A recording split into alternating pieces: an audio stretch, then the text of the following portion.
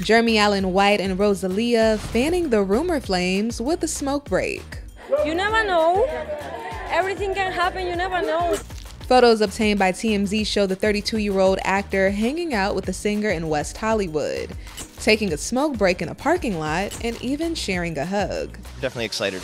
Neither has commented publicly on their relationship, but the pair was seen buying flowers at a Los Angeles farmer's market in October. You never know. Meanwhile, Rosalía was previously linked to reggaeton singer Rauw Alejandro. You get to share this night with your man Rauw. Do you guys inspire each other and your music? I think definitely, yeah. definitely.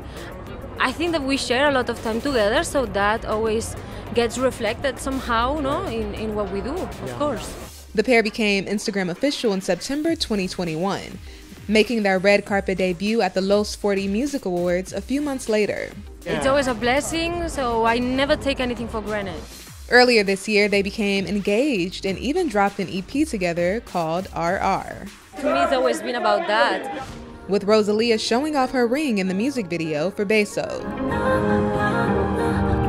Ay, Dios mío. Y todo el rímel aquí corrido. But in July, the couple announced they had parted ways.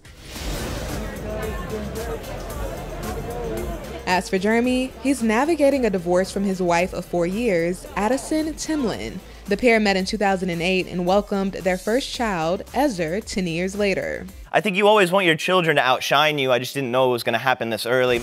In 2019, Addison and Jeremy tied the knot and the following year welcomed their second child, a daughter named Dolores. Their last public appearance together was at the Golden Globes in January, when Jeremy won Best Actor in a Comedy Series for his role in The Bear. Just like all day, I've been like a jittery mess, and then I think right at that moment, it was just like at its most. I was vibrating almost, you know, um, and just holding on to my wife's hand really, really tight. Fast forward to May 11th, and Addison filed for divorce. In the filing obtained by ET, she lists a date of separation as September 1st, 2022.